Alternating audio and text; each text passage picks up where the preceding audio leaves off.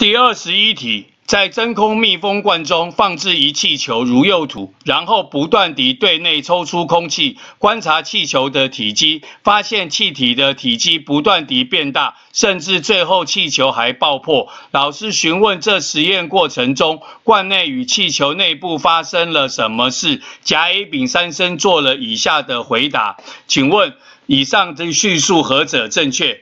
甲生说，罐内的空气逐渐稀少。罐内的气体压力也逐渐的变小，这个叙述是对的。我们已经知道，我们不断的抽出空气，所以罐内的空气会越来越少，因此压力也会越来越小。甲生叙述是对的。乙生说，气体的体积会不断地变大，是想造成气球内部的压力跟着体积一起变大，这个是错的。这个气球算是一个密闭的容器，密闭的容器如果体积变大，压力是会变小，所以气球内部的压力是变小的，而不是跟着体积一起变大。